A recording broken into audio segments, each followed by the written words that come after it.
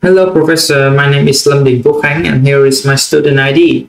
Now, I will describe a work of art that I have seen. It was a humid summer afternoon in Hanoi, the year 2019. I was wandering through a bustling market, the air thick with the scent of spices and fresh produce, when I stumbled upon a hidden art gallery. There, amidst the vibrant chaos, I encountered the Maiden and the Lily by Tô Ngọc. I felt like I had stepped into a world both familiar and strangely ethereal. Here was this young Vietnamese woman, clad in a long, flowing dress, the color of a whisper against the background.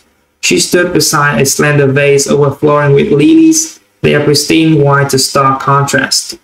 But it wasn't just the subject matter that captivated me.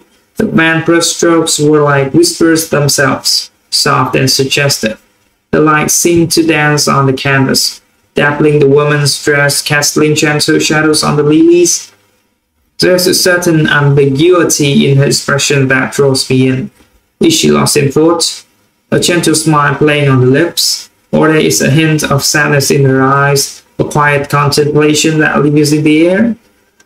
The painting is a beautiful example of the fusion of Eastern and Western influences. The soft colors and evocative brushwork echo French Impressionism. Yet, the serene beauty of the woman and the symbolism of the lily speak to a distinctly Vietnamese aesthetic. It's a work that invites you to create your own story, to wonder about the life of this young woman and the emotions that reside within her. In that sense, the maiden and the lily transcend a mere depiction.